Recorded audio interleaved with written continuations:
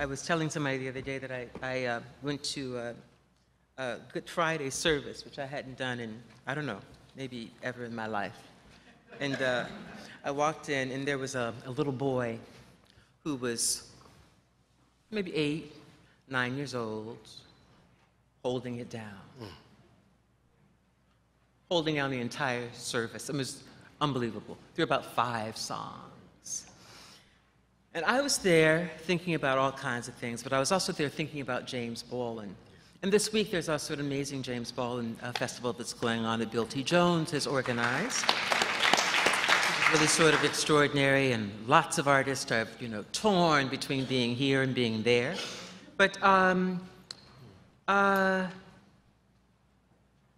I thought about what uh, Baldwin sacrificed. I thought about his engagements, and I thought about uh, his willingness to give of himself um, that was so completely shaped by the church that he had been brought up in, in a Pentecostal church, like the church that I was brought up in, right? And, uh, and, and that he was able to give extraordinary love and devotion, not only to his community and to the idea and the concept of black people, but really to America. Mm-hmm. That he really wanted to see a change place. The contradiction was that Baldwin was able to give extraordinary love, extraordinary devotion, extraordinary commitment, but he had a very difficult time receiving it. And so I see you similarly as a man who is able to give extraordinary love, who has decided that you are going to work in this way because it matters mm. and that it has deep, deep, deep, deep meaning for you. So that you're giving of yourself to a neighborhood, to a city, to a state, mm. to a nation. Mm. And I wonder to what extent then you're able to receive love back.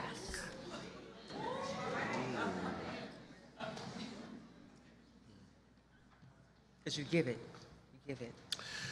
You know, um, love is the fuel, and it's not just output. That I'm, I'm saturated in a, in a net, in a, in a milky way of generosity and, and love. So much so. And, and love is so complicated that, that there have been the, lo- the love, the love that my mom gave, and then the love of my first love.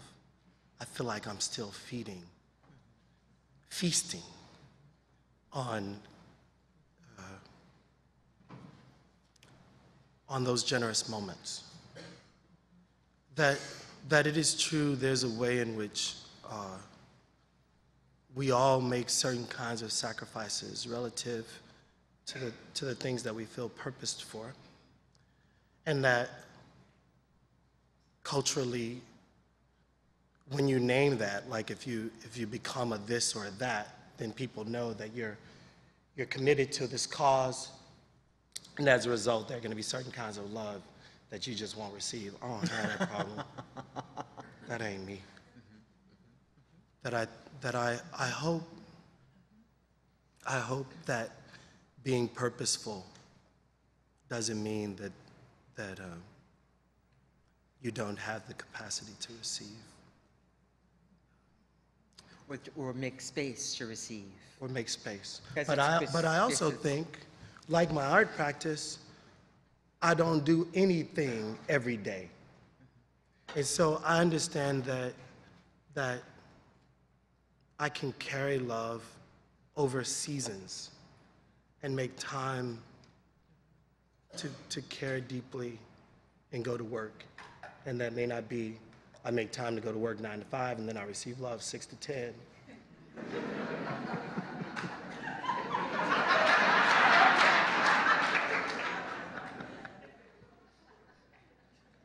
I don't feel neglected. there is, there is, where's this, um, uh, where's this uh, incredible sense of motivation to do to build, to design? Where does that come from? Hmm. You know, it's, it's actually really interesting. And I'm, I'm actually, I'm, I feel like I'm talking to, two artists, but I'm also talking to the networks that surround us and support us. That it's a really boring moment, kinda, to me.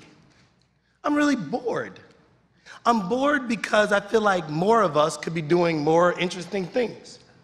And uh, that what happened is that some people have decided that there would be these three roads that you could be an artist like this, you could be an artist like that, or like that.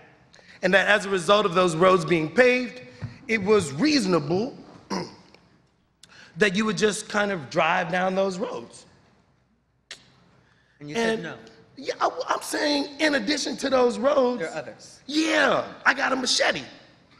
The, that, those blades of grass feel good on my feet. And that sometimes cutting, cutting your feet against something that feels like terse is way more interesting than like driving on good asphalt. We got potholes in Chicago. If, um, if you know, car springs didn't cost so much, I'd be enjoying that. Tumultuous. That, that there's a way in which the work, like, like in some ways, I, I love making, but then there's a part of my personality that is like engaged in demonstrative acts in this moment. Like, like we could do, we could do whatever we want. We could actually have a more contemporary, contemporary than any other contemporaries around us. And that if 90% of us don't have certain kinds of opportunities, then we should be making those opportunities. If, my boys are paying $1,500 a month for a two bedroom, you should own a building. And like, but ain't nobody telling us that, and we don't, we don't imagine that that's inside of the studio practice to figure out how to, how to know something beyond the thing that we made. So it's like, well, what happened if we actually applied the same rigorous engine, rigorous vehicle, the, the rigor that we do toward figuring out how to make um, the gesso thicker, or who can give us the sterling silver copper plated, if we would do, use the same information to be like, how does a tax credit work? The same amount of time. It ain't rocket science. You gonna call a lawyer. The lawyer gonna take three quarters of your money, and then you gonna get a tax credit. It's like I don't even have to learn this. I just got to know who the tax credit lawyer is. But see, but no, I, I love all of this. And, and Rick, please jump in. I, I mean, I, I'm very, very interested in how you have come to use this as a part of your practice. And I was thinking about people like Rick Lowe, who was here yesterday, mm-hmm. who, with his sort of brilliance early on in his life, decided, I'm going to take this neighborhood, mm-hmm. Project Row House, and transform it. Mm-hmm. And this is going to be a part of my practice, you know, my interest in architecture, my interest in planning, my interest in environment, my interest in social change, mm-hmm. all of those things coming together. And I was wondering to what extent you were also influenced by, mm-hmm. you know, by, by, by, by Rick Lowe or projects like that. Right. And uh, but, but but that but that formation, the formation of that idea stems from something that's deeper, Yeah. right? And, and that's what makes Theaster so unique in the 21st century, that there is this amazing kind of fusion of love and a real sense of community and this entrepreneurial spirit that is so targeted towards the real needs and the real concerns of a community that is in dire need of help. We were talking backstage about um, a project that he's doing um, on the far south side of Chicago, an area where um, I grew up and my family continues to live, and we need help. And I'm so excited by the idea of a Theaster Gates public project, you know, that will be in some ways a, a, a, a kind of a, a, a centerpiece for, for that community. So let's let's unpack this a little bit This, this because is really very interesting. this is this is this is this is the night, where we can unpack some things For a minute. for a minute. How many minutes? And then we have to come back to bar. Okay. So, community, yes. Love, yes. But I studied urban planning.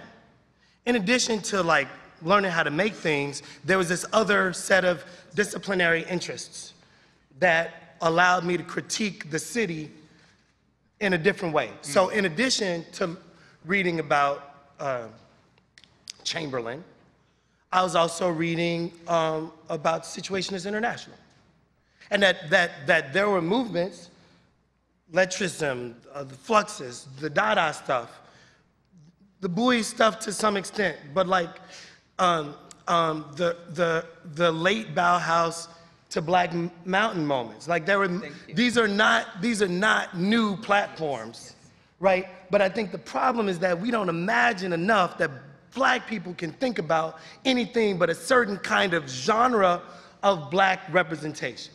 And so, and so as a result of us artists going down that road, we don't imagine that this idea of the right to the city, that, that there, if a, if a cop gonna pick me up for walking down the street on my block with two of my homies, I don't have the right to the city. And that maybe a radical 1968 is the right kind of response to these militarized moments. And that if we don't grab those things, not only as symbolic moments, but like those were real moments where people were, were outcrying their right to the city. And so those philosophies around my right to occupy and my right to interrogate um, public-private space. Like when is a when do private people make a private space public and for what reasons? Like Millennium Park. When is a public space not really fully public, like the mall?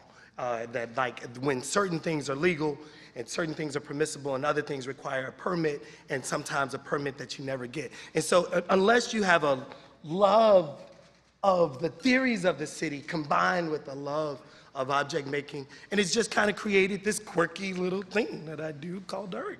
And, and also, you've incorporated the archive as well. And that is something that, that I find quite remarkable. This incorporation of um, the, the, the, the ebonies and the, the jet magazines and, Fabulous and, and, and then the slides from the University of Chicago, which they were going to throw out and discard. You have found a way to kind of make use of that in a way that is really meaningful for, the, for those spaces. So they, they're not just spaces for a kind of a congregation of, of, of, of art types, but they become a place where, where learning can really transpire. Well, maybe, th- maybe this is then the, maybe this is the discipline, that it, that it's not about found objects or it's, it's not about archives, actually. It's, it's our capacity to see things that have been deemed valueless and, and see them long enough and, and work with them long enough. That, so, so that um, a, a glass slide is no more found than the blue paint that you buy. That if you're a horrible painter, that blue paint ain't gonna help you none. Right? And so, in addition to identifying the stuff, you then got to make good decisions about what to do with it, you know, about what to do with it. And, and I think I, I, I've just, I really don't think it's this or that thing, even though completing projects and people being able to call it Black Cinema House or the Listening House or, or the Archive House, it helps fix it in a way that makes sense to people. But I'm actually still after the processing and the seeing. That's the part that's exciting for me. By the time that it becomes the Listening House, I've hired somebody to run the thing.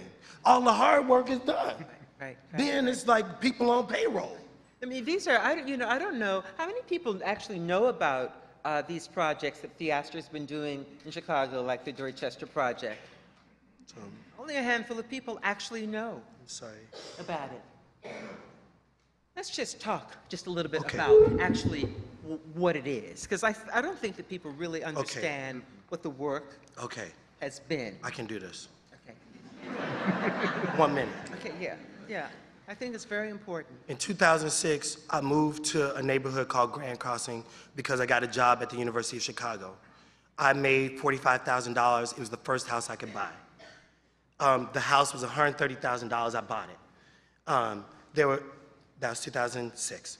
2008, the market crashed. The, the building next door had running water. Shh, you could, shh. Somebody had gone in, stole the copper pipes, and the water was running. I called the water department, say, hey, your building, your water is running, and it's gonna mess up my uh, foundation if y'all don't come turn this shit off. Can y'all come get y'all water? Then I thought, ooh, somebody might buy this building, then I'm gonna have to have the neighbors I had before. so, as a way of managing the, uh, the people around me, I decided to buy the building. I thought, uh, at best, uh, I can have my studio next to my crib. And my friends will be excited, and this would be, and then I'd be good. I have a studio, I have a house, and my life would be over. And um, that was 2008, bought the second one, the third one. And then, um, and I, I had no art practice to speak of that anybody was interested in in 2008. And so I thought, well, if nothing else, I could like put my art up in my house and I can invite my friends over and we could look at my art in my house. Because I control that space. I control that space. I control that space. Therefore, I can determine what goes on up in my space. I control that space, and this gonna be my house for my art.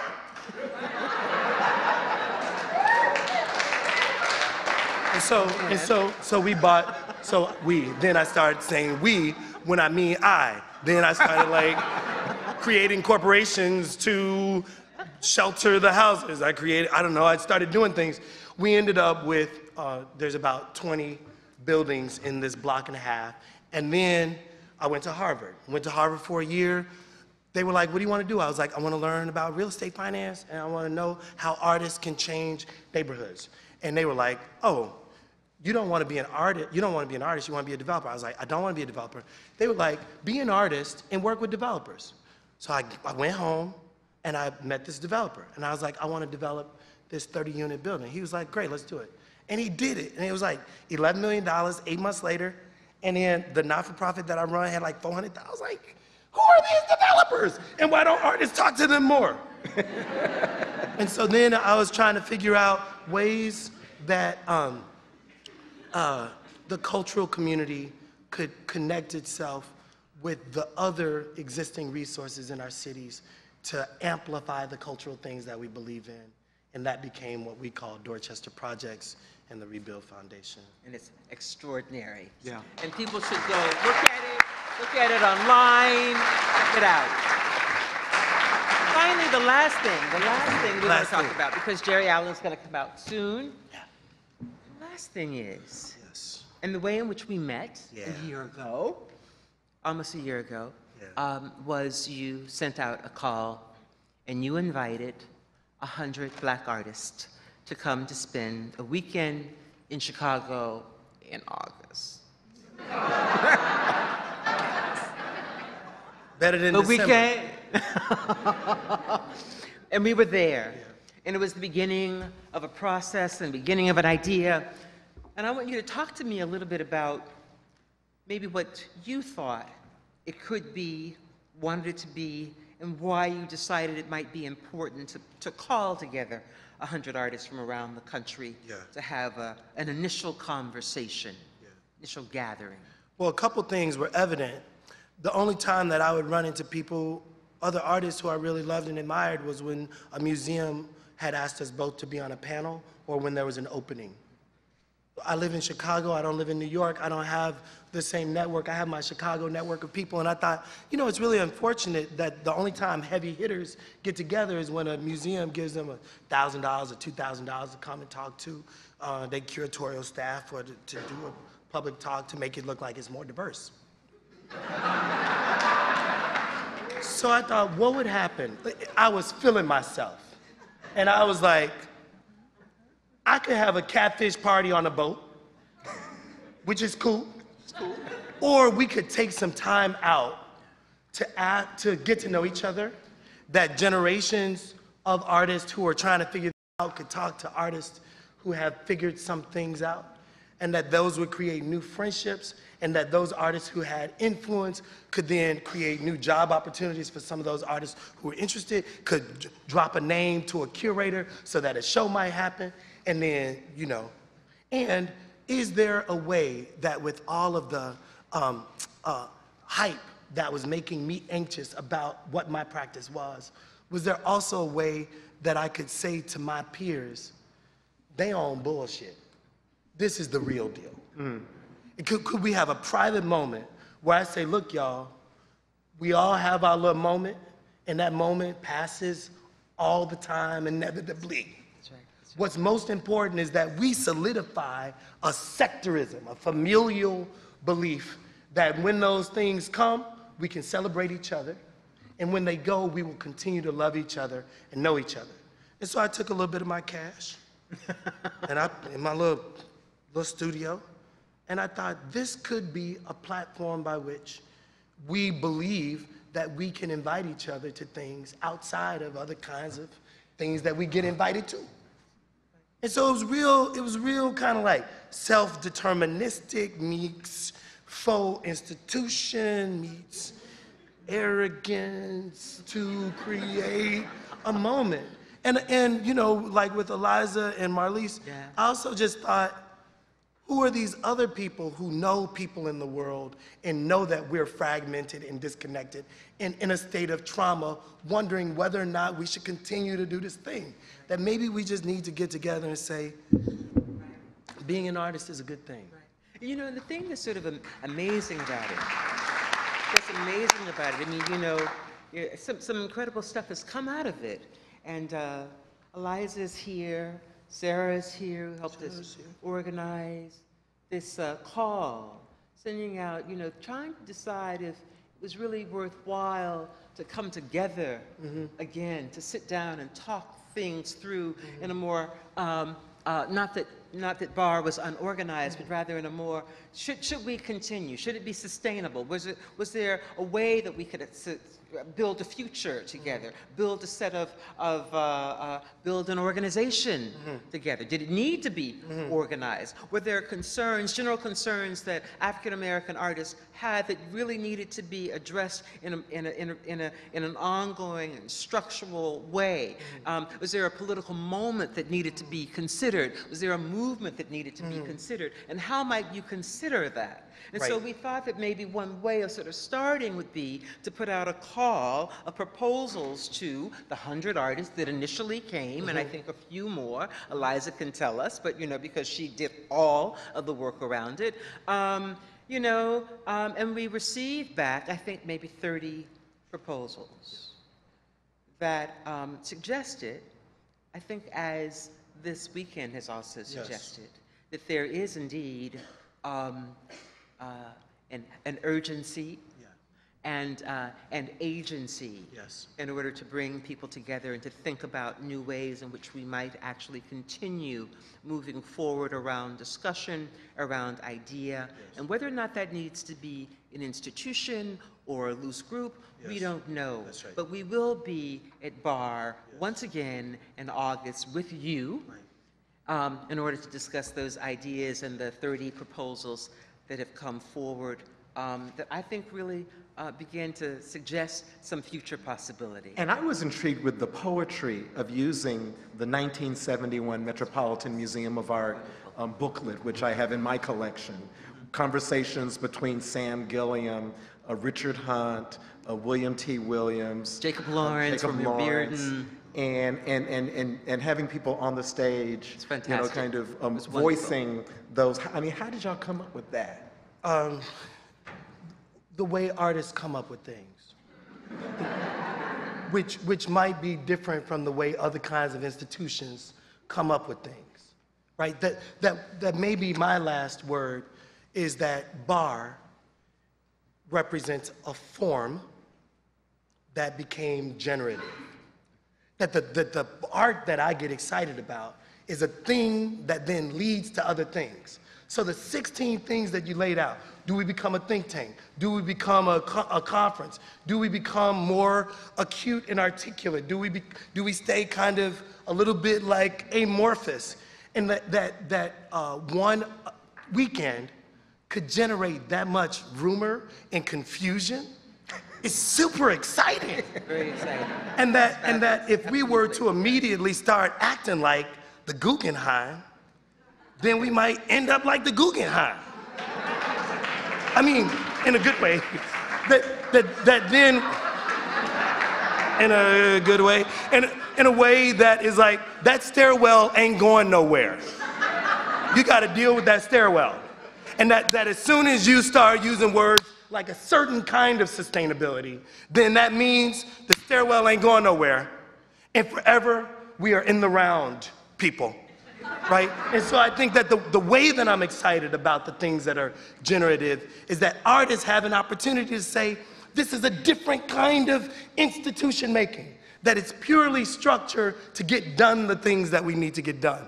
And if formal institutions grow out of it, not different from the Studio Museum, born out of a rioting moment, born of a group of people saying to a large institution, y'all got to do more than this, right? And that sometimes those things last. And even if it's a rumor of two years, then I'd rather my granddaughter live with the rumor of Barb being the sexiest thing that had happened in 2013 rather than a half baked uh, hotel, motel, museum that people don't want to go to anymore.